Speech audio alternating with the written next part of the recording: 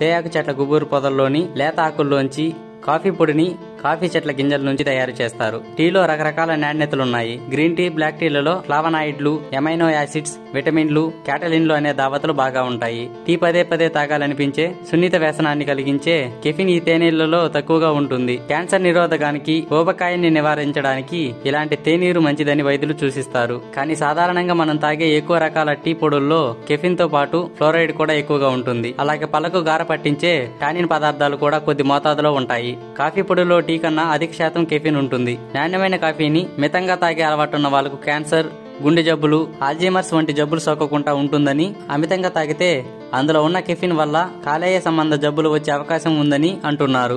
ఇందులో కొద్దో గొప్ప ఫ్లోరైడ్ ఉండే అవకాశం ఉంది. కాబట్టి టీ కాఫీలు తాగిన వెంటనే నీరు తాగినా పుక్కిలించి ఊసినా పంటిపై గార పట్టకుండా ఉండే అవకాశం ఎక్కువ. సో టీ కాఫీలు తాగిన తర్వాత నీళ్ళు తాగడం వలన ఎలాంటి సమస్య ఉండదు.